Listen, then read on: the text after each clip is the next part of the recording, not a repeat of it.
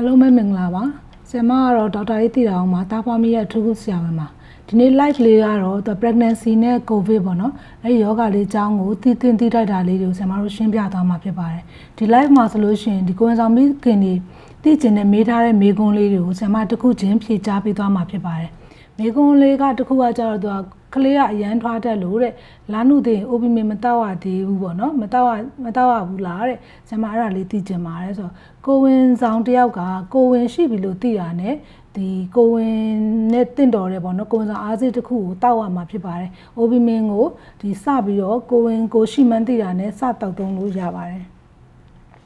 နောက်မေကွန်းလေးတစ်ခုကကြတော့ကိုဝင်ဆောင်ရှစ်လမှာတဲ့သူခါရမ်းနာနေတယ်တဲ့အဲ့ဒါလေးကိုဘယ်လိုလုပ်ရမလဲပေါ့နော်အဲရှစ်လမှာဆိုလို့ရှိရင်တော့ကိုဝင်ရရင့်လာတဲ့များခါနာတာတွေဒီအနေထားမမှန်ရင်ပေါ့နော်ကိုထိုင်ဒီကိုရက်ကိုနေကိုဟန်အနေထားမမှန်လို့ရှိရင်သူခါနာတတ်ပါတယ်အဲ့လိုခါနာတယ်ဆိုလို့ရှိရင်တော့ကျွန်တော်တို့အနာသက်တာဈေးအနေနဲ့ဆိုပါရာစီတမောတောက်လို့ရပါတယ်နောက်တစ်ခုကကြတော့ကိုဝင်ဆောင်တွေလွတ်တဲ့လေ့ကျင့်ခန်းလေးတွေပေါ့နော်အဲ့ဒါလေးတွေကိုလေ့ကျင့်ပေးလို့ရပါတယ် နောက်မေကုံးလေးတွေကကြတော့သူကအဲ OB မင်ကိုတဲ့3လနဲ့စတောက်တယ်တဲ့ကလေးအရန်ကြီးနေမှာလားပေါ့အဲ့လိုမဟုတ်ပါဘူးတောက်လို့ရပါတယ်ဟိုကိုဝင်ကိုရှိမှန်စတိတာနဲ့ကိုဝင်စာအားစေးလေးတွေကိုစပြီးတော့တောက်သုံးပေးလို့ရပါတယ်နောက်ပြီးတော့ကိုဝင်ဆောင်ချိန်မှာအမေးများဆုံးမေးခွန်းလေးပေါ့နော်အဲ့ဒါကကြတော့ကိုဝင်ဆောင်ချိန်မှာတဲ့ကိုဗစ်ကာကွယ်ဆေးပေါ့နော်ဆေးထိုးလို့ရပါလားတဲ့အဲ့ဒါထိုးလို့ရပါတယ်ကိုဝင်ဆောင်တွေကဒီကိုဗစ်ကာကွယ်ဆေးပို့ပြီးတော့ထိုးပေးသင့်ပါတယ်။ဘာဖြစ်လို့လဲဆိုတော့ကိုဝင်ဆောင်မှာကိုဗစ်ဖြစ်ပြီဆိုလို့ရှိရင် severity ကပို့ပြီးတော့ပြင်းထန်တတ်တဲ့အတွက်ကြောင့်ကိုဝင်ဆောင်တွေကဒီကိုဗစ်ကာကွယ်ဆေးကိုထိုးလို့ရပြီဆိုလို့ရှိရင်ထိုးသင့်ပါတယ်။နောက်တစ်ခုကကြာနော်မေကွန်လေးတစ်ခုကကြာသူက လေးဘက်ကြော်မှာတဲ့သူပေါင်ချင်းက180ကြော်နေတယ်တဲ့အဲသူအစားလျှော့ရင်ကောင်းမလားပေါ့နော်ကိုဝင်ဆောင်မှာဆိုလို့ရှိရင်တော့မိခင်တွေကအစားမလျှော့သင့်ပါဘူးတင်းတင်းနဲ့ကျမကြီးနဲ့ညီညွတ်တဲ့အစားတောက်တွေကိုစားပေးရပါမယ်အားစေးလည်းတောက်သုံးပေးရမှာဖြစ်ပါတယ် သူနောက်မေခွန်းလေးတစ်ခုကကြာတော့ကိုဝင်လေးလာမှာတဲ့သွေးပေါင်ချိန်က60 60လောက်ပဲရှိတယ်တဲ့။ OG လည်းသူမပြရသေးဘူးပေါ့နော်ဒီကိုဗစ်ကာလဖြစ်တဲ့အတွက်ကြောင့်တဲ့အဲ့ဒါလေးဆေးညွှန်းပေးပါအောင်ဆိုပြီးမေးလာတယ်။အဲ့ဒါကြတော့ကိုပါသွေးပေါင်ကကြတော့60 60ဆိုတာကိုယ့်ရဲ့ငကိုပေါ့သွေးပေါင်လည်းဖြစ်နိုင်တယ်။အားစေးတွေတောက်ဖို့ဆိုလို့ရှိရင်တော့သူကဒီခုန OB-min, folic acid, omega 3အဲဒါမျိုးလေးတွေကိုတောက်သုံးပေးသင့်ပါတယ်။ နောက်မေးများတဲ့မေးခွန်းကကြောင့်ကိုဝင်မှာခါနာတယ်ပေါ့နော်အဲ့မေးခွန်းလေးကတော့ထက်ထက်နေတယ်အဲ့ဒါကဆမကုနာပြောသလိုပဲအနာသက်တာဈေးဆိုလို့ရှိရင်ပါစီတမောတောက်လို့ရတယ်နောက်ပြီးတော့အဲကိုဝင်ဆောင်လေးဟိုလေ့ကျင့်ခန်းလေးတွေပေါ့ခါမနာအောင်လေ့ကျင့်တဲ့လေ့ကျင့်ခန်းလေးရှိရဲအဲ့ဒါလေးတွေကိုလေ့ကျင့်ပေးသင့်ပါတယ်နောက်တစ်ခုကကျွန်တော်မေကွန်းလေးတွေကじゃကိုဝင်3လနဲ့ရတဲ့ open စတောက်လာတယ်ပေါ့နော်အဲဘိုက်ကလည်းတဲ့တခါတလေကြာလို့ရှိရင်ညဘက်ကျရင်နာတယ်ပေါ့အဲဒါကတော့ အိုမင်းစားတောက်တာကတော့3လနဲ့စားတောက်တယ်ဆိုတာမှန်ပါတယ်ကောင်းပါတယ်ခါနာတယ်ဆိုတာကလည်းပဲခုနမေခွန်းလေးတွေထပ်နေပြီပေါ့နော်အဲ့ဒါလေးကကြတော့လေခါနာပြီဆိုလို့ရှိရင်ခုနလေ့ကျင့်ခန်းလေးတွေလုပ်ပေးလို့ရပါတယ်နောက်မေကွန်းလေးကကြတော့ဒီမေကွန်းလေးကတော့ကောင်းတယ်လူတွေဟိုမတိတဲ့လူလည်းများတယ်ပေါ့နော်အဲ့ဒါကြတော့ကိုဝင်မီပုံမှန်ကိုဝင်ဆောင်တယောက်ကတဲ့ဒီတိုင်းမှာများတတ်တယ်တဲ့ကိုဝင်ဆောင်မှာကိုဗစ်ဖြစ်ပြီးသွားလို့ရှိရင်တဲ့ပျောက်ပြီးသွားလို့ရှိရင်လေဒီတိုင်းမှာများနေဒီတိုင်းမှာဆိုတာသွေးဖြေပါ သွေးထဲမှာရှိတဲ့ဒီသွေးခဲနှုံးဓာတ်ပေါ့နော်အဲ့ဒါကိုစစ်ဆေးတဲ့သွေးဖြေအဲ့ဒါကိုဝင်ဆောင်မှာလည်းဒီတိုင်းမှာများနေဆိုဘယ်လိုလုပ်ရမလဲတဲ့သူမေးတဲ့မေးခွန်းလေးကကြတော့ပုံမှန်မှာဆိုလို့ရှိရင်ကိုဝင်ဆောင်မိခင်တွေကဒီတိုင်းမှာတန်မှန်တဲ့များတတ်တယ်ဒီတိုင်းမှာဆိုခုနသွေးပြစ်နှုံးကြည့်ကြရပါတော့အဲ့ဒါကကြအဲ့လိုပုံမှန်မှာများတာကြတော့ဆရာမတို့900 1000အဲ့အဲ့လောက်ထိပဲများတယ် အလွန်အလွန်ဆုံးဆိုလို့ရှိရင်ဆရာမတို့မြင်ဘူးတာဆို1500လောက်ထိမြင်ဘူးတယ်အဲကိုဝင်ဆောင်မှာကိုဗစ်ဖြစ်သွားတယ် post covid မှာသားပေါ့အဲသူ့မှာကျတော့ဒီတိုင်းမှာများနေရင်ပုံမှန်ကိုဝင်ဆောင်မှာများတဲ့ကိုဗစ်နှုံးနဲ့ဒီတိုင်းမှာဘယ်လိုစစ်ရမလဲ။ तू ကဒီသွေး तू ကသွေးရမ်းပြစ်နေပြီလား။ तू သွေးကျဲဆေးတွေထိုးဖို့လိုနေပြီလားဆိုတာ तू ကစိတ်ပူလို့မေးထားတဲ့မိကွင်းလေးပါအဲ့ဒါကြာကျွန်တော်တို့ဘာပြန်ကြည့်ရမလဲဆိုဒီကိုဝင်ဆောင်မိခင်ဟာကိုဗစ်ဖြစ်တဲ့အချိန်မှာ तू က ဒီကိုဗစ်ရဲ့ severity ဆိုးခဲ့လားအောက်ဆီဂျင်လိုအပ်ချက်တွေအများများခဲ့လားနောက်ပြီးတော့ဒီပြင်းထန်မှုတွေများခဲ့လားပေါ့အဲ့ဒါကိုဆရာမတို့ပြန်ပြီးလေ့လာစစ်ဆေးရမယ်အဲ့လိုမျိုး severity များခဲ့တဲ့ covid post covid မာသားမျိုးဆိုလို့ရှိရင်တော့ဒီဒီတိုင်းမှာငကိုပုံမှန်များတဲ့ဟာတွေသူပုံများနေတတ်တယ်။မကိုဗစ် ကိုဝင်ဆောင်မှာများဒီဒီတိုင်းမှာများနေတာတဲ့သူကအစပေါင်းများစွာများနေတာမျိုးဖြစ်တတ်တယ်အဲ့ဒီအတွက်ကြောင့် the post covid ဖြစ်ပြီးသားကိုဝင်ဆောင်မိခင်တွေကတော့ဒီတိုင်းမှာစစ်တဲ့နဲ့ဒါပုံမှန်ရှိတဲ့နာတဲ့ပုံများပြီဆိုရင်တော့လိုအပ်တဲ့ကုသမှုတွေကိုဆရာဝန်နဲ့တေချာပြသပြီးတော့ကုသတင်ပါတယ်ပြန်ပြီးတော့စစ်ဆေးတင်ပါတယ်အဲ တချို့ကကြတော့သူကဘာပြောလဲဆိုတော့ဒီ post covid ရဲ့ symptom တွေပေါ့နော်အနမ်းမရတာဖြစ်သွားတယ်လှုပ်ရှားမှုများရင်မောတယ်အဲအဲ့လိုမျိုးပြောတယ်နောက်ပြီးသူ့ရဲ့ကိုဝင်ဆောင်အနေနဲ့ကြတော့တဲ့အချင်းအောက်ကျနေရတဲ့အမွေးကန်ဒီမှာအပေါ်ပြန်တက်နိုင်လားပေါ့ဒါကတော့ကိုယ့်ရဲ့ OG နဲ့တေချာပြပါအချင်းအောက်ကျတာအရေးကြီးပါတယ်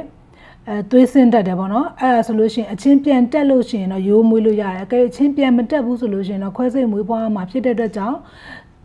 အရေးကြီးတဲ့ OG နဲ့တေချာပြသပြီးတော့မှဒါဟိုမွေးဖွားဖို့ပေါ့နော်ဆုံးဖြတ်တင်ပါတယ်တချို့အကြောင်းတော့လေကိုဗစ်ဖြစ်ပြီးသွားပြီပေါ့ရိုးမွေးဖို့အဆင်ပြေပါမလားပေါ့အဲ့ဒါကြတော့ကိုဗစ်ဖြစ်ပြီးသွားပြီဆိုလို့ရှိရင်ခုနကိုဗစ်နဲ့ဆိုင်တဲ့သွေးစစ်တာတွေလိုအပ်တဲ့စစ်ဆေးတာတွေကိုလည်းစစ်ဆေးတင်တယ်။ OG နဲ့ပြသတဲ့အပိုင်းကလည်းကိုယ့်ရဲ့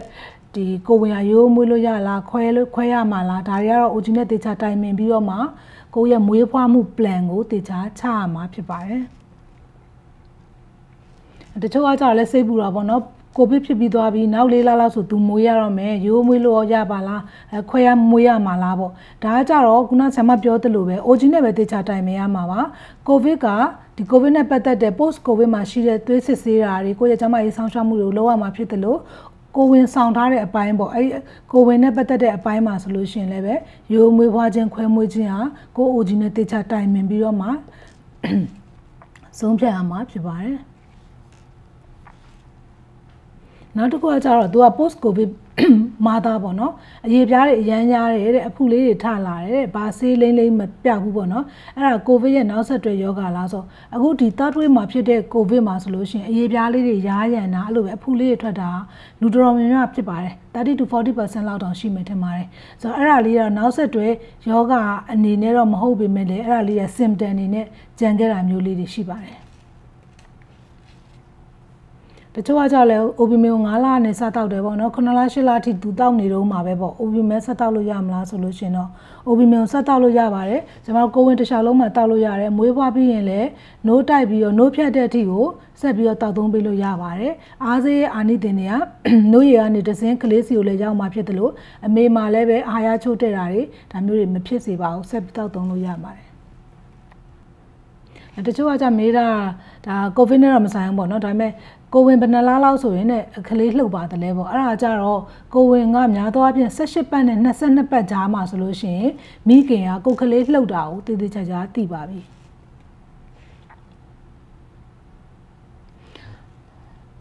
အဲတချို့ကကြာသူကိုဗစ်ဖြစ်ထားတယ်ပေါ့နော်ချောင်းဆိုးတာလေးတော့ကြံနေသေးတယ်ကိုဝင်အတွက်မမွေးဘွားခင်ထိပေါ့နော်ဆောင်းရံရှောင်းရံလေးတွေတဲ့အဲ့ဒါကတော့ဆရာမကုနာပြောပြီးတဲ့အတိုင်းပဲ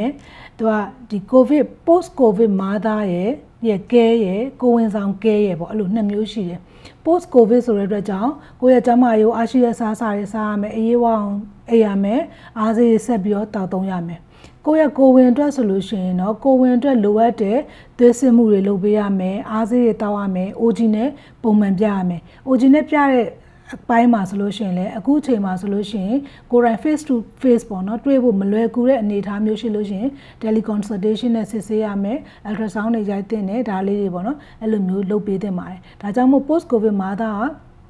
ကြောက်လန့်ပြီးအားငယ်နေကြမလို့ပါဘူးကိုယ့်ရဲ့ဒီကိုဗစ်နဲ့ပတ်သက်တဲ့အားစေးတွေအားရှိအောင်စားတာတွေဒါမျိုးပေါ့ post covid ကိုလည်းကာကွယ်ဖို့အပိုင်းတစ်ပိုင်းကိုလည်းလုပ်ရမယ်အားစေးတွေတောင်းရမယ်ကျန်းမာအောင်နေရမယ် ကိုဝင်ကိုလည်းပဲ original ပြသပြီးတော့ဆက်လက်ပြီးတော့ဆောင်းရှောက်ဖို့ဆိုလို့ရှိရင်အစားအစာရအဆင်ပြေနဲ့မွေးဖွားနိုင်မှာဖြစ်ပါတယ်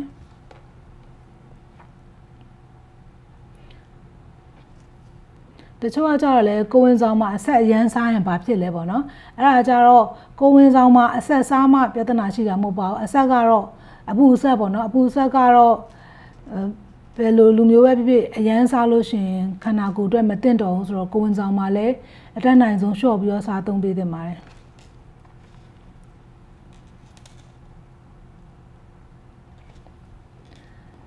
တချို့ကမေးထားတယ်ပေါ့နော်တချို့ကိုဝင်ဆောင်မိခင်တွေမေးထားတဲ့မေကွန်းလေးတွေကကြတော့စိုက်ကယ်စီးလို့ရှိရင်တဲ့ဘိုက်ထဲကကလေးကိုထိခိုက်မှုရှိလားပေါ့နော်အဲ့ဒါကတော့ အဲစိုက်ကယ်စီးလို့ဘိုက်တဲကကလေးကိုထိခိုက်မှုရှိတာမျိုးတော့မဟုတ်ပါဘူးစီးတဲ့ဒီလမ်းကျန်းပမာဏလမ်းလမ်းဘယ်လောက်ကျန်းတယ်လဲကိုဘယ်လောက်အကြာကြီးစီးရတယ်လဲဒါစိုက်ကယ်စီးရောကိုခန္ဓာကိုယ်နာကျင်မှုရှိလားပေါ့နော်ဒါလေးတွေကိုချင့်ချိန်ပြီးတော့မှကိုတင့်တော်တယ်လို့ညံရှိတယ်လို့ပေါ့နော်ဟိုသွားလာလှုပ်ရှားလို့ရပါတယ် နောက်မိခင်တယောက်ကမေးထားတာကြတော့ဒါကိုဗစ်နဲ့တော့မဆိုင်ဘူးဒါမဲ့လည်းသိသိပါတယ်အဲ့ဒါကြသူကပါလဲဆိုတော့ तू ကပထမကလေးရတဲ့အမွာကိုဝင်ကိုမွေးခဲ့တယ်ပေါ့မွေးတဲ့အချိန်မှာလည်း तू ကိုဝင်စေးပြီးတက်ပြီးတော့မွေးခဲ့ရတယ်အခုဒုတိယကိုဝင်မှာရောဒီလိုမျိုးဖြစ်နိုင်လားပေါ့နော်အဲ့ဒါဒုတိယကိုဝင်မှာရော तू ဘယ်လိုကာကွယ်သင့်လဲပေါ့အဲ့ဒါကတော့ဟိုဒုပထမကိုဝင်မှာကိုဝင်စိတ်တက်တယ်ကိုဝင်စိတ်တက်တယ်ဆိုတော့သွေးတိုးတယ်ပေါ့နော်သွေးတိုးပြီးတော့သွေးရအပြီးတော့ဒီ အဲသွေးတိုးတယ်သွေးတိုးတဲ့အတွက်ကြောင့်တော့ကိုဝင်ကိုခွဲပြီးတော့မွေးခဲ့ရတယ်ပေါ့အဲကြောင့်ဒုတိယကိုဝင်မှာဆိုလို့ရှိရင်လည်းကျွန်တော်တို့ကိုဝင်ဆဆတိတိချင်းကိုဝင်ရှိမှန်းတိတိချင်းမှာသွေးပေါင်တေချာတိုင်းတင်တယ် OD နဲ့တေချာပြတင်တယ်နောက်ပြီးတဲ့အခါမှာဆိုလို့ရှိရင် ultrasound ရိုက်တာသွေးစစ်တာတွေနဲ့အမြဲဟွာပေါ့တေချာပုံမှန်စစ်ဆေးပြီးတော့မှဒီရှောင်ရန်ဆောင်ရန်တွေကိုမှတ်သားပြီးတော့လေ့လာရဲဆိုလို့ရှိရင်ဒီသွေးတိုးတဲ့ပမာဏရောကြသွားမှာဖြစ်ပါတယ်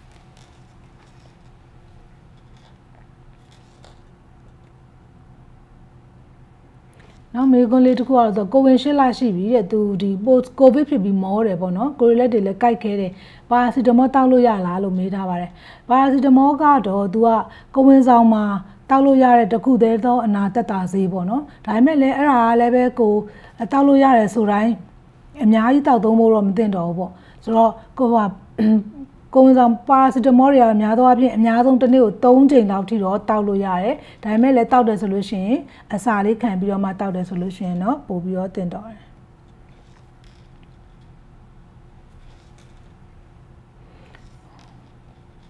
တချို့မေကွန်းလေးတွေကကြာသူရှစ်လကျော်နေပြီတဲ့အဖြူစင်းနေပေါ့နော်မနေ့ဆိုရင်ရေနေနဲ့စင်းနေခလေးလှုပ်တာလည်းပဲတခြားမိခင်တွေလှုပ်တဲ့လောက်သူမလှုပ်ဘူးလို့ပြောတယ်ပေါ့နော်အဲ့ဒါလေးသူစိတ်ပူတယ်ပေါ့ဆိုပြီးမေးလာတယ်အဲ့ဒါကြတော့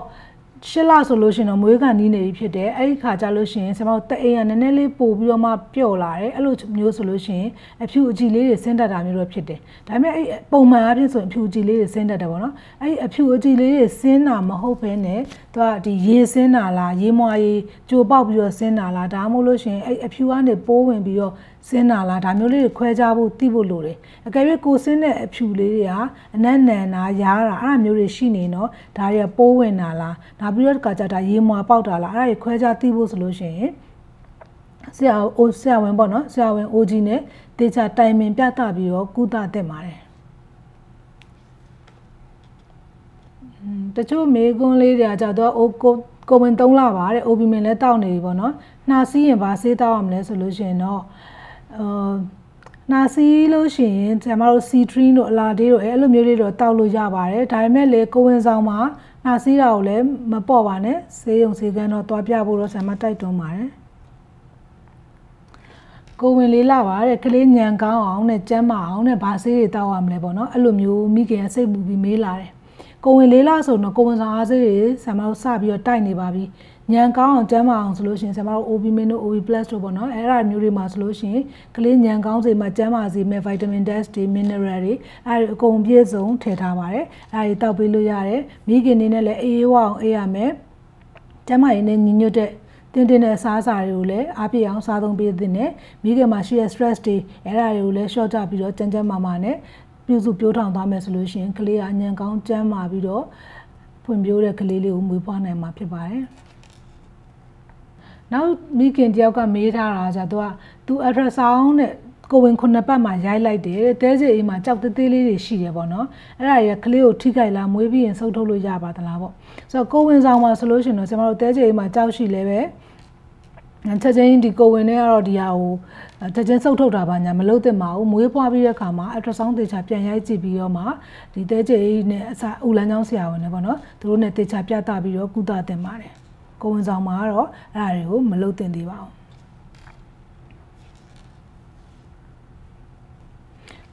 မိခင်မေးထားတာကြောင့် तू ကကိုဝင်2လပါတဲ့တလားကြော်လောက်နေရင်တအားကြက်နေရတဲ့မပြောက်သေးလို့ပေါ့နော်ကလေးအတွက်စိုးရင်ပြီးတော့ तू မေးထားတာပါအဲ့ဒါကကြတော့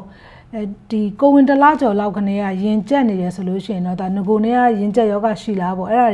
တွေကတခြားပြသပြီးတော့ရင်ကျက်ပန်းနာနဲ့ပတ်သက်တဲ့ဆေးတွေကိုတခြားတောက်သုံးသင့်ပါတယ်မှန်မှန်တောက်သုံးသင့်ပါတယ်ကလေးတွေစိုးရင်ရလားဆိုလို့ရှိရင်တော့ရင်ကျက်တဲ့တဲ့အခါမှာတောက်တဲ့ဆေးတွေကကိုဝင်ငိုတော့များသောအားဖြင့်မထိခိုက်ပါဘူးဆရာမတို့ဆရာဝန်နေနဲ့အနေနဲ့လည်းပဲ ဒီရင်ကျက်ဆေးတွေကိုကလေးကိုမထိခိုက်မဲ့ဆေးမျိုးစားတွေကိုရွေးချယ်ပြီးပေးလို့ရှိတဲ့အတွက်ကြောင့်ဆရာဝန်နဲ့တေချာပြသပြီးတော့ကုသထားသင့်ပါတယ်ကိုဝင်3လမှာတဲ့ OB min နဲ့ OB plus ကိုတဲ့ဘယ်ဆေးစတောက်ရမလဲဆိုပြီးတော့မေးလာတယ်အဲ့ဒါကတော့ရပါတယ်အဲဘယ်အားဆေးမဆိုကိုဝင်ဆောင်အားဆေးဆိုလို့ရှိရင်မိခင်နေနဲ့တောက်သုံးလို့ရပါတယ်တော့နောက်မေးခွန်းလေးတစ်ခုကကြတော့သူပုံမှန်နေကောင်းကျန်းမာနေတဲ့ကိုဝင်ဆောင် မိခင်တဦးဟာတဲ့ကိုဗစ်ကူးဆက်ပြီဆိုလို့ရှိရင်ပြင်းပြင်းထန်ထန်ခံစားရနိုင်သလားတဲ့ဆိုပုံမှန်နေကောင်းတဲ့မိခင်ဖြစ်စေကမူကိုဝင်ဆောင်မိခင်တွေရာဆိုလို့ရှိရင်တခြားဒီကိုဝင်မရှိတဲ့မျိုးသမီးတွေလည်းဆိုလို့ရှိရင်ကိုဗစ်ဖြစ်ပြီဆိုလို့ရှိရင်သူ့ရဲ့ severity ကပိုပြီးတော့များနိုင်ပါတယ်အဲအကြောင်းမို့လို့မိခင်တွေကအိမ်ထဲမှာပဲနေရမယ်နောက်ကျမရင်းနဲ့ညီညွတ်တဲ့အစားအစာတွေစားရမယ်အားပြည့်တဲ့အစားအစာတွေစားရမယ်အေးဝအောင်အေးရမယ်ကိုယ့်ရဲ့ stress တွေကို short ကြရမယ် နော်နောက်ပြီးတော့အခါမှာအပြင်သွားတယ်လူနဲ့စကားပြောရဲဆိုလို့ရှိရင် mask တက်ပေးတင်ပါတယ်အဲတချို့ကမေးတာကကြတော့ तू ကအဲ OB main နဲ့ OB plus နဲ့ तू တောက်နေတယ်ပေါ့နော် folic acid နဲ့ तू တွဲတောက်ရမလားခွဲတောက်ရမလားတဲ့အားဆေးတွေကတွဲတောက်လို့လည်းရပါတယ်။ကြပြီးကိုကဆေးကြောက်လို့ဆေးတွေအများကြီးတွဲမတောက်နိုင်အောင်ဆိုလို့ရှိရင်တစ်လုံးစီတောက်လည်းရပါတယ်။ဘယ်လိုပဲဖြစ်ဖြစ်တနေ့တာကာလအတွင်းမှာဆရာဝန်ညွှန်ကြားထားတဲ့အားဆေးတွေကို တောက်နိုင်မယ်ဆိုလို့ရှိရင်ရပါတယ်တွဲတောက်လည်းရတယ်ခွဲတောက်လည်းရပါတယ်တချို့ကကြသူဝန်းတာအချုပ်လို့ပေါ့နော်အဲဘာဆေးတွေတောက်ရမလဲပေါ့အဲဝန်းချုပ်တာကကြတော့ကိုဝင်ဆောင်တွေကအဲဝန်းချုပ်ပြီဆိုလို့ရှိရင်ဆရာမတို့များသောအားဖြင့်တော့ MON ပေါ့ MON ညွှန်လေးရှိပါတယ် MON ကတော့မိခင်ဒီကိုဝင်တွေနဲ့လည်းတဲ့တယ်ပေါ့နောက်ပြီးတော့ပြင်းပြင်းထန်ထန်လည်းပဲဝန်းလျှော့သွားတာဒါမျိုးတွေလည်းမရှိစေတဲ့အတွက်ကြောင့် MON တောက်လို့ရပါတယ်ဒီနေ့ live မှာဆိုလို့ရှိရင်တော့ အခုဒီဆမကုနာဖြေပြထားတဲ့မေးခွန်းလေးတွေကတော့ဒီကိုဝင်ဆောင်တွေတိလို့တဲ့အချက်ကလေးတွေရယ်ကိုဗစ်နဲ့ပတ်သက်တဲ့အချက်လက်လေးတွေရယ်ကိုဝင်ဆောင်မှာစောင့်ရန်ရှောင်ရန်လေးရယ်ဒါလေးကိုဆမတို့စုစည်းပြီးတော့ပေါ့နော်အမေးဖြေသဘောလေးနဲ့ဆမတင်ပြထားတယ်အဲတော့ဆမအနေနဲ့ဒီ live နဲ့ပတ်သက်ပြီးအကြံပေးချင်တာကတော့အတူချုပ်ပြောရမယ်ဆိုလို့ရှိရင်တော့ ကိုဗစ်နဲ့ပတ်သက်လို့ကျွန်တော်ကာကွယ်ရမယ့်အပိုင်းတွေရှိတယ်အဲ့ဒါတွေကတော့အိမ်ထဲမှာနေမယ် mask တက်မယ်အားပြအောင်စားမယ်လူတွေနဲ့တိုက်ရိုက်ထိတွေ့တာတွေကိုအတတ်နိုင်ဆုံးရှောင်ရှားမယ်ဒါကတော့ကိုဗစ်နဲ့ပတ်သက်တဲ့ကာကွယ်ရမယ့်အပိုင်းအကဲကိုဗစ်ကဖြစ်ပြီးသွားပြီဖြစ်ပြီးသွားပြီဆိုလို့ရှိရင်ကျွန်မ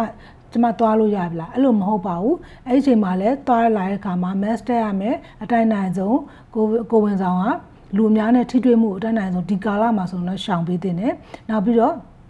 အားရှိရဲ့စားစာရေးစားရမယ်အေးဝအောင်အေးရမယ်ကိုဗစ်နဲ့ပတ်သက်တဲ့အားဆေးတွေအဲ့ဒါတွေလည်းတောက်လို့ရပါတယ်နောက်တစ်ခုကကြတော့ကိုဝင်ဆောင်မှာ vaccination ပေါ့ဒီကိုဗစ်ကာကွယ်ဆေးထိုးတာ ကိုဖြစ်ပြီးသွားပြီဆိုလို့ရှိရင်လည်းပဲသူကနောက်3လကျော်တဲ့အခါမှာဆိုလို့ရှိရင်ကိုဗစ်ကာကွယ်ဆေးလည်းထိုးလို့ရပါတယ်မဖြစ်သေးဘူးဆိုလို့ရှိရင်လည်းကိုဝင်ဆောင်မိခင်ကကိုဗစ်ကာကွယ်ဆေးကိုထိုးထားသင့်ပါတယ်ဘာဖြစ်လို့လဲဆိုတော့ကိုဝင်ဆောင်မိခင်တွေမှာကိုဗစ်ဖြစ်ခဲ့ပြီဆိုလို့ရှိရင်သူများတဲ့ severity ကများနိုင်ခြေရှိတဲ့အတွက်ကြောင့်ဆရာမတို့ကာကွယ်ထားသင့်ပါတယ်ဒီလိုကာကွယ်ဆေးထိုးထားခြင်းအပြင်ကိုဗစ်ကြောင့် severity ကိုရော့ကျစေတဲ့အသက်အန္တရာယ်ထိခိုက်မှုကိုလည်းအတန်းနိုင်ဆုံးအတိုင်းအတာတစ်ခုထိကာကွယ်ပေးနိုင်တဲ့အတွက်ကြောင့်ဖြစ်ပါတယ်။ဒါက COVID နဲ့အပိုင်း။နောက်တစ်ပိုင်းကကြတော့ဒီကာလမှာဆိုလို့ရှိရင်ကိုဝင်ဆောင်မိခင်တွေကစေစေကန်းစေးုံစေကန်းပေါ့ပြသဖို့သူတို့ကြောက်ကြတယ်။အဲအဲ့လိုမျိုးဆိုလို့ရှိရင်လည်းပဲဇမတို့အားစေးတွေတောက်ထားမယ်။နောက်ပြီးတော့ဒီစေးုံစေကန်းမသွားဘူးဆိုရင်တောင်မှ teleconsultation နဲ့ပဲဖြစ်ဖြစ်ဇမတို့လိုအပ်တဲ့ဒီဒီဆရာဝန်တွေ advice တွေပေါ့နော်။ဘာလို့တင်တယ်ဘာတွေရောဆက် ပြီးတော့လှုပ်တောက်ထားရမယ်ဒါမျိုးလေးတွေလည်းတေချာ OG နဲ့ပြသပြီးတော့ကိုယ့်ရဲ့ birth plan ပေါ့ဘယ်လိုမွေးမှာလဲဘယ်မှာမွေးမှာလဲအဲဒါမျိုးလေးတွေကိုတေချာစီစဉ်ပြီးတော့မှဟိုကိုစ조사ပြီးတော့ဒါတွေလှုပ်ထားမယ်ဆိုလို့ရှိရင်တော့ဒီကိုဝင်ဆောင်တဲ့ဒီကိုဗစ်ကာလမှာမိခင်တွေကလွယ်လွယ်ကူကူအေးချမ်းချမ်းချောချောမွေ့မွေ့နဲ့မွေးဖွားနိုင်မှာဖြစ်ပါတယ်အားလုံးပဲကျေးဇူးတင်ပါတယ်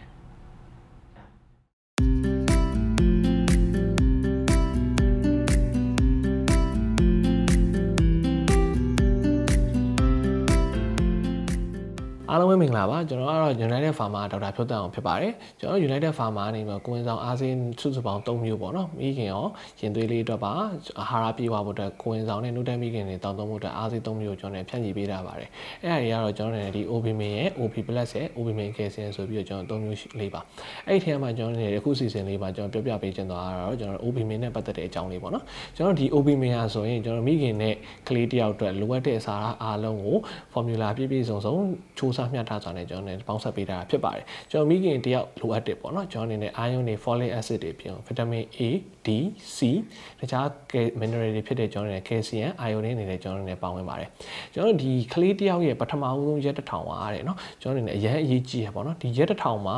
ကျွန်တော်တို့ကောင်းကောင်းမွန်မွန်ပြုစုစောင့်ရှောက်မှုမပြုလုပ်ဘူးဆိုရင်ဒီကလေးရဲ့နောင်ကြီးမှာသွားပြီးတော့ပေါ့နော်ကလေးရဲ့ကြီးထွားဖွံ့ဖြိုးမှုတွေဉာဏ်ရည်ပိုင်းတွေမှာအများကြီးထိခိုက်သွားနိုင်ပါတယ်လို့ခုနောက်ပိုင်းစစ်တမ်းတွေကဆိုကြပါတယ်ဒါကြောင့်မို့ဒီကလေးတယောက်ရဲ့ပထမဦးဆုံးရက်တစ်ထောင်ရဲ့သုံးပုံတစ်ပုံဖြစ်တဲ့ကျွန်တော်တို့ဒီအမိခင်ဝမ်းထဲမှာပေါ့နော်မိခင်ဝမ်းထဲမှာစုစုပေါင်း6လနေတဲ့ချိန်လေးတွင်းမှာကျွန်တော်တို့မိခင်ကိုယ်တိုင်အစာအာဟာရပြည့်ဝမှသာလေကလေးစီကိုကျွန်တော်တို့လုံလောက်တဲ့အစာအာဟာရတွေရောက်မှာဖြစ်ပါတယ်ဒါကြောင့်မို့ဒီလိုမျိုးမိခင်ကနေပြီးတော့ကလေးတယောက်စီကိုလုံလောက်တဲ့အစာအာဟာရတွေ ပေးနိုင်ဖို့အတွက်ကျွန်တော်တို့နဲ့ဒီအားစေးလေးကို opimin လေးကိုကျွန်တော်တို့တောက်သုံးပေးခြင်းမို့လဲကျွန်တော်တိုက်တွန်းနေပါတယ်ကျွန်တော်တို့ဒီ opimin ထဲမှာပါဝင်တဲ့ကျွန်တော်တို့ folic acid ကတော့1 mg elemental iron က30 mg ပါဝင်တဲ့အတွက်ကြောင့်ဘာကောင်းကျိုးတွေရနိုင်လဲဆိုတော့ကျွန်တော်တို့ folic acid ဒါချို့တက်မယ် folic acid ဒါမိခင်ကိုဝင်ဆောင်တဲ့အချိန်ပထမအဦးဆုံးပေါ့နော်ပထမအဦးဆုံး3လပတ်အတွင်းမှာ folic acid ဒါချို့တက်မယ်လုံလုံလောက်မိခင်ကမတောက်သုံးထားဘူးဆိုရင်ကျွန်တော်တို့ကလေးမှာကိုယ်လည်းငါချို့တက်တာမျိုးတွေ congenital defect လို့ခေါ်တဲ့အရာမျိုးတွေဖြစ်ပွားနိုင်တယ်လို့ကျွန်တော်အာယုံကြောမာကြီးကြောရိုးမာကြီးမှာလည်းကျွန်တော်တို့ပြဿနာတွေတွားရှိနိုင်ပါတယ်ကျွန်တော်ကတော့ neurologic defect လို့ခေါ်တာပေါ့နော်ဒါမျိုးတွေမဖြစ်သွားအောင်လို့ကျွန်တော်တို့နေမိခင်ကပထမအဦးဆုံးကိုဝင်စရှိရလို့တည်ထဲကနေပြီး folic acid ကိုလုံလောက်စွာတောက်သုံးပေးဖို့အတွက်လိုအပ်ပါတယ် ဒါအပြင်ကိုကျွန်တော်တို့နေအာယုံကြတော့ဘာအတွက်တောက်ကောင်းလဲဆိုတော့ကျွန်တော်တို့နေဒီကိုဝင်ဆောင်မိခင်တွေပေါ့နော်မြန်မာနိုင်ငံလက်ရှိမြန်မာနိုင်ငံမှာကိုဝင်ဆောင်မိခင်တွေအများဆုံးတွေ့ကြုံရတဲ့အရာဘာလဲဆိုတော့ကျွန်တော်တို့နေဒီသွေးရနေတာပါနော်ကိုဝင်ဆောင်တဲ့အချိန်မှာမွေးဖွားပြီးတဲ့အချိန်မှာသွေးရနေတဲ့ယောဂါကိုဝင်ဆောင်မိခင်တော်တော်များများပေါ့နော်အဲ့မှာတွေ့ကြုံနေရပါတယ်ဒါကြောင့်မို့ကျွန်တော်တို့နေဒီအာယုံကိုလုံလောက်စွာတောက်သုံးပေးခြင်းအပြင်ဒီမိခင်က တွေးရနေခြင်းယောဂါကိုအများကြီးကာကွယ်ပေးရရောက်ပါတယ်။ဒါအပြင်ကိုကျွန်တော်တို့ဒီအာယုံလေးကဘာအတွက်ကောင်းလဲဆိုတော့ကလေးတယောက်ရဲ့နော်ကိုယ်ခန္ဓာကြီးထွားဖွံ့ဖြိုးမှုအပြင်ကိုကလေးတယောက်ရဲ့ဉာဏ်ရည်ဖွံ့ဖြိုးမှုကိုပါအားပေးကူညီရရောက်ပါတယ်။ဒါအပြင်ကိုကျွန်တော်နောက်ထပ် mineral အရေးပါတဲ့ mineral တစ်ခုကတော့ဘာလဲဆိုတော့ကျွန်တော် iodine လေးပေါ့နော်။ကျွန်တော် iodine ကချို့တဲ့မယ်ဆိုရင်ကျွန်တော်နေ criticism လို့ခေါ်တယ်ပေါ့နော်။ကလေးလေးကဘယ်လိုပြောရမလဲဆိုရင်ဒီအဲဉာဏ်ရည်မမီတာပေါ့နော်လူစင်မမီရဲ့လူခန္ဓာကိုယ်ပိုင်းမှာရောအုံနောက်ပိုင်းဆိုင်ရာမှာရောလူစင်မမီရဲ့လူလေးဖြစ်သွားနိုင်ပါတယ်။ဒီ iodine ကနည်းနည်းလေးအနေပါပေါ့နော်။ချို့တဲ့တဲ့အဆင့်ချင်းမရဘူးမလုံလောက်ဘူးပေါ့နော်မိခင်ကလုံလောက်စွာမရရှိဘူးဆိုရင်လည်းကျွန်တော်အနေနဲ့ဒီကလေးလေးကကြီးထွားဖွံ့ဖြိုးမှုနဲ့ဉာဏ်ရည်ပိုင်းဆိုင်ရာမှာနည်းနည်းအားနည်းချက်တွေရှိသွားနိုင်ပါတယ်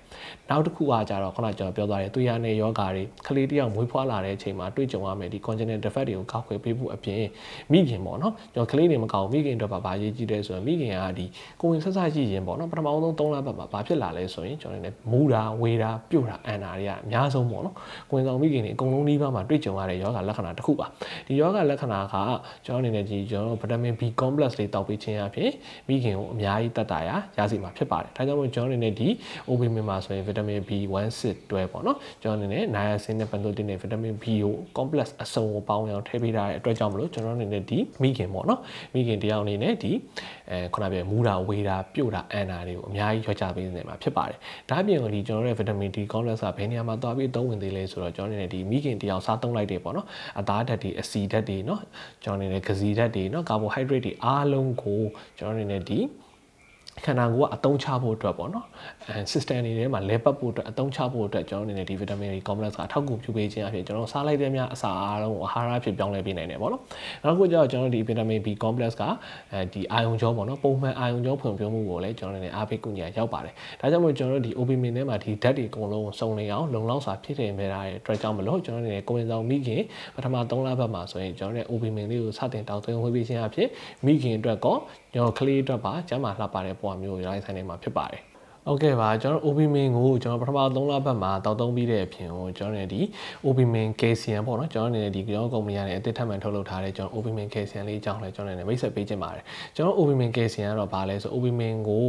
Calcium ထပ်ပေါင်းထားတာတော့မဟုတ်ပါဘူးကျွန်တော်နေဒီ Calcium အားစေးတည်တံ့ပေါ့နော် Calcium တည်တံ့အားစေးလေးပါဒါပေမဲ့ကျွန်တော်တို့ဒီကျွန်တော် OBMIN Calcium တခြားမြန်မာနိုင်ငံမှာရှိတဲ့ Calcium အားစေးတဲ့ဗာများထူးခြားလဲဆိုတော့ကျွန်တော် FOS လို့ခေါ်တဲ့ထက်လေးအသစ်ပါတာပါဒီ FOS ကဘာလဲဆိုတော့ကျွန်တော်နေဒီခုဈေးကွက်ထဲမှာပေါ့နော်ကျွန်တော်အနေနဲ့ဒီ one pill one shot ဖြစ်ရင်တောက်သုံးနေတဲ့ဒီ prebiotic လို့ခေါ်တဲ့အရာနဲ့ကျွန်တော်အနေနဲ့တူတူနီးပါတူတူပဲပေါ့နော် action တူတူပါပဲသဘောတရားချင်းတူတူပါပဲဒီ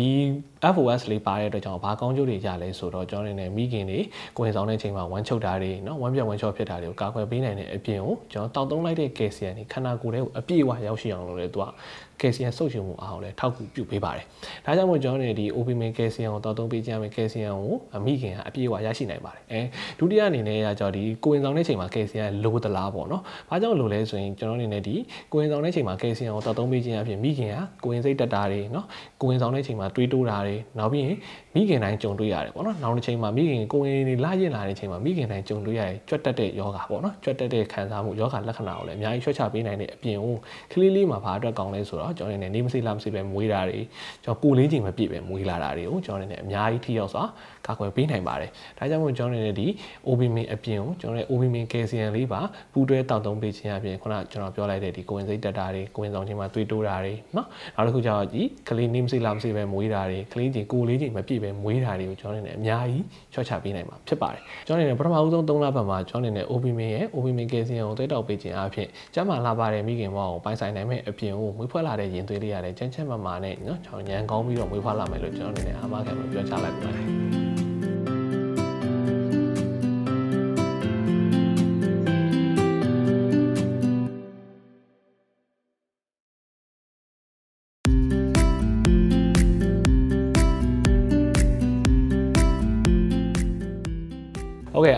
င်္ဂလာပါကျွန်တော်က United Pharma ဒေါက်တာဖြုတ်တန်အောင်ပါကျွန်တော်ရှေ့ရအပိုင်းလေးမှာပြောသွားသလိုပဲကျွန်တော်အနေနဲ့ဒီ Obimin တွေ OB+ တွေကိုကျွန်တော် Obimin Calcium လေးနဲ့တွဲတွဲတောက်ပြီးတော့အကျိုးကျေးဇူးတွေရရှိနိုင်ကြောင်းကျွန်တော်ပြောထားသလိုပါပဲအခုချိန်မှာတော့ကျွန်တော် Obimin Calcium ရဲ့ကောင်းကျိုးတွေကြီးပဲဟိုကျွန်တော်အနေနဲ့တီးသက်မရှင်းပြခင်မှာကျွန်တော်အနေနဲ့မေမေတွေ user မှားနေတဲ့ဟာလေးတခုကိုကျွန်တော်အနေနဲ့ message တွေတခုပေးနေတာပေါ့နော်ပထမဦးဆုံးကျွန်တော်အနေနဲ့ဒီ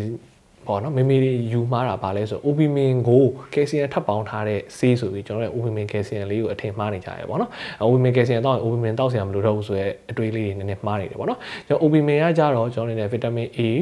B C D ပြီးရင် mineral တွေ ion တွေ folic acid တွေပါတာပါကျွန်တော် obimin calcium ကျတော့ calcium တစ်မျိုးတည်းကိုပဲဦးစားပေးပြီးတော့ထုတ်လုပ်ထားတာပေါ့နော်အဲအကြောင်းကျွန်တော်တခြား vitamin တွေမပါပါဘူးဒါကြောင့်မို့ကျွန်တော်လည်း obimin သို့မဟုတ် ob plus တွေနဲ့ကျွန်တော် obimin calcium လေးကတွဲပြီးတော့ကိုင်ဆောင်တဲ့အချိန်မှာနှုတ်တိုက်တဲ့အချိန်မှာပါတောက်သုံးပေးတင်တာပါအဲကျွန်တော် obimin calcium မှာပါဝင်တာကတော့ calcium ရဲ့ magnesium ရဲ့ phosphorus ရဲ့ပြီးရင်တခြားကျွန်တော်အနေနဲ့ဒီ vitamin D3 ရဲ့ တခြားအားဆေးတွေပေါ့နော်တခြား calcium အားဆေးတွေထဲမှာမပါဝင်တဲ့ကျွန်တော် FOS ဆိုတဲ့ဟာလေးတခုထည့်ပေးထားတာပါ FOS ကကြတော့ကျွန်တော်တို့ဒီ fructo oligosaccharide လို့ခေါ်ပါတယ်ကျွန်တော်အနေနဲ့ဘာလဲဆိုတော့ကျွန်တော်အနေနဲ့ဒီ prebiotic နဲ့သူ action တူပါတယ်ဒီ FOS တွေပါခြင်းအဖြစ်မေမေတွေမှာဖြစ်လိဖြစ်တာရှိရဲ့ဝမ်းချုပ်တာဝမ်းပြက်ဝမ်းလျှော့ဖြစ်တာတွေကိုကာကွယ်နိုင်တဲ့အပြင်ကိုကျွန်တော်အနေနဲ့ဒီ calcium ရဲ့တောက်လိုက်တဲ့ calcium စားလိုက်တဲ့ calcium တွေရဲ့เนาะဟာတွေကိုခန္ဓာကိုယ်ထဲကနေပြီးစုပ်ယူမှုအားကောင်းအောင်သူထောက်ပံ့ပေးပါတယ် အဲဒါအပြင်ကိုကျွန်တော်နေဒီကယ်ဆီယမ်ကပုံမှန်လူတယောက်မှာဆိုရင်အယိုးတွေသွားတွေကိုတမ်းမာကြန့်ခိုင်စေတယ်ကြွက်သားတွေကိုတမ်းမာစေတဲ့အပြင်ကိုကျွန်တော်နေခန္ဓာကိုယ်ထဲမှာရှိနေတဲ့လုပ်ငန်းဆောင်တာတွေလဲပတ်ဖို့အတွက်ကောင်းမွန်မွန်လဲပတ်ဖို့အတွက်ကျွန်တော်အန်ဇိုင်းလေးတွေကိုလည်းသူအထောက်ပံ့ပေးပါတယ်အဲကိုဝင်ဆောင်ချိန်မှာဘာတွေလိုအပ်လဲเนาะကိုဝင်ဆောင်ချိန်မှာဘာတွေကောင်းလဲဆိုရင်နံပါတ်1အနေနဲ့ကကျွန်တော်ကိုဝင်စိတ်တက်တာ နော်ဒါပေမဲ့ပြီးရင်ဒီကိုရင်ဆောင်ချိန်မှာတွေးတိုးတာပေါ့နော်ကိုရင်ဆောင်ချိန်မှာတွေးတိုးလာတာကိုရင်စိတ်တက်တာပြီးရင်နံပါတ်2ကကျတော့ကြွက်တက်တာနံပါတ်3ကကျတော့ကျွန်တော်အနေနဲ့ဝေးဖွားပြီးတဲ့အချိန်မှာတွေးတော်တာပြီးရင်အသက်ကြီးလာတဲ့အချိန်မှာအယိုးပွားတာတွေဖြစ်လာတာပြီးရင်ကျွန်တော်အနေနဲ့ဒီကလေးတယောက်ပေါ့နော်ကလေးတယောက်ရဲ့ဒီကိုယ့်ရဲ့ဘိုက်ထဲမှာရှိတဲ့ကလေးရဲ့ bone mineralization လို့ခေါ်တဲ့ကျွန်တော်အယိုးလေးတွေပေါ့နော်အယိုးလေးတွေတန်ဆွမ်းလာအောင်လို့ထောက်ပံ့ပေးတယ်နောက်ပြီးရင်ကလေးမွေးလာပြီးတဲ့အချိန်မှာဖြစ်လိဖြစ်တာရှိရဲ့အဲကလေးအသက်ရှူနှုံးမမှန်တာနှုတ်ကောင်းကောင်းမဆိုးတာပြီးရင်ကလေးက ကျွန်တော်အနေနဲ့ jitteriness လို့ခေါ်တဲ့တက်တာပေါ့နော်အတက်လေးနည်းနည်းလေးဖြစ်တာเนาะအဲ့ဟာလေးကိုလည်းကာကွယ်ပေးနိုင်ပါတယ် short ချပေးနိုင်ပါတယ်အဲကျွန်တော်အနေနဲ့ဒီမှာအဓိကဦးစားပေးပြီးပြောချင်တာကကျွန်တော်ကိုဝင်စိတ်တက်တာပေါ့နော်ကိုဝင်စိတ်တက်တာဆိုတာကိုဝင်ဆောင်ချိန်မှာသွေးတိုးတာအပြင်ကိုကျွန်တော်အနေနဲ့ဒီစီးသွားလိုက်ရင်ကျွန်တော်စီးထဲမှာ protein ဓာတ်တွေပါတာနောက်ပြီးခြေလက်တွေမျက်နှာတွေမျက်လုံးတွေပေါ့နော်ဖောရောင်လာတာเนาะအဲအဲ့အမျိုးကြီးဖြစ်လာပါတယ်အဲ့အမျိုးကြီးဆိုရင်ကျွန်တော်အနေနဲ့ဒီအဲဖြစ်လာပြီဆိုရင်အမေရောကလေးရောပါအသက်အန္တရာယ်ရှိနိုင်တယ်ပေါ့နော်အဲဒါကြောင့်မို့လို့ကျွန်တော်အနေနဲ့ဒီယောဂါတွေကိုဖြစ်ပွားမှုနှုန်း short ချဖို့အတွက် WHO ကနေပြီးတော့ကျွန်တော်အနေနဲ့ ဒီ calcium အားဆေးလေးကို1.5 gram နေပြီးတော့2 gram နေတစ်ရက်ကို1.5 gram 2 gram နေတောက်သုံးပေးဖို့အတွက်ညွှန်ကြားထားပါတယ်နံပါတ်1အနေနဲ့ကကျွန်တော်အနေနဲ့ဒီကြွက်တက်တာပေါ့နော်ကြွက်တက်တာကိုကာကွယ်ဖို့အတွက်ဆိုရင်လည်းကျွန်တော်တို့ဒီ calcium လေးကအများကြီးထောက်ကူပြုပါတယ်မိမိဒီကိုဝင်လာရင်လာနဲ့မြကြွက်တက်တဲ့ယောဂါကိုလိုင်းလိုလိုခံစားရပါတယ်တော့ဘယ်လိုမျိုးအချိန်မှလဲဆိုတော့ကျွန်တော်ဒီအမေတယောက်ကကလေးတယောက်ကိုကိုယ့်ရဲ့ခန္ဓာကိုယ်ထဲမှာလွယ်ထားတာဖြစ်တဲ့ကြောင့်ကုလေးခြင်းကများလာတယ်ပေါ့နော် overuse တဘောမျိုးဖြစ်သွားတယ်နောက်ပြီးကလေးတယောက်ရဲ့ အဲအစာဟာရပေါ်ပေးနေတာဖြစ်တဲ့ကြောင့်အစာဟာရယောနေတာမျိုးဖြစ်သွားတယ်။ဒါကြောင့်မို့ကျွန်တော်ညွတ်တက်တာတွေဖြစ်တယ်။အများဆုံးအနေနဲ့ဒီခြေသလုံးကြွက်သားတွေ၊ဘိုက်ကြွက်သားတွေ၊ကြောကြွက်သားတွေနာကျင်တာမျိုးတွေဖြစ်လာပါတယ်။ကျွန်တော်ဒီ OBM ကယ်ဆီယမ်လေးကိုတောက်သုံးပေးခြင်းအပြင်ကျွန်တော်ရဲ့ဒီကြွက်သားတွေကြွက်တက်တာမျိုးကိုလည်းအများကြီးလျှော့ချပေးနိုင်ပါတယ်။အဲနောက်တစ်ခုအနေနဲ့ကျွန်တော်အယိုးပွားတာပေါ့နော်။အယိုးပွားတာကကျွန်တော်အနေနဲ့ကလေးကိုဝင်ဆောင်နေတဲ့အချိန်မှာမိမိကကိုဝင်ဆောင်နေတဲ့အချိန်မှာဒီကယ်ဆီယမ်ကိုလုံးလုံးလောက်မစားဘူးဆိုရင်အမေရဲ့အယိုးထဲမှာရှိတဲ့ကယ်ဆီယမ်တွေကိုကလေးကိုပေးလိုက်။ဘာလို့ကလေးကလိုအပ်နေရအောင်နော်။အဲ့တော့အမေက ရိုးထဲမှာရှိတဲ့ KCN ကိုကလေးကိုပြီးလဲတော့အမေကအရိုးထဲမှာရှိတဲ့ KCN ထက်နေရောအဲ့တော့အရွယ်မတိုင်ခင်ပေါ့နော်အရွယ်မတိုင်ခင်အမေတွေကအသက်မကြီးခင်မှာပဲဒီအရိုးပွားယောဂါကိုခံစားရတာမျိုးတွေဖြစ်လာနိုင်ပါတယ်အဲအဲ့လိုယောဂါမျိုးကိုကာကွယ်မနိုင်မှုအတွက်အဲ့လိုဖြစ်စဉ်မျိုးကိုကာကွယ်နိုင်မှုအတွက်ကျွန်တော်တို့ဒီ Obimin KCN လေးကိုတောက်သုံးပေးလို့ ရပါတယ်ခင်ဗျဒါကြောင့်မို့ကျွန်တော်အနေနဲ့ကျွန်တော်ရဲ့ဒီ Obimin KCN လေးကိုကျွန်တော် Obimin ရောတို့မဟုတ်ကျွန်တော်ရဲ့ OB Plus နဲ့အတူတူတရက်ကိုတစ်ချိန်တစ်လုံးစီပေါ့နော် Obimin တစ်လုံးကျွန်တော် Obimin KCN တစ်လုံးတောက်သုံးပေးလို့ရတယ်လို့ဆရာဝန်ညွှန်ကြားမယ်ဆိုရင်တော့တရက်ကိုတစ်ချိန်မှ၃ချိန်အထိကျွန်တော်အနေနဲ့စားစားပြီးတိုင်းတောက်သုံးပေးလို့ရပါတယ်ခင်ဗျ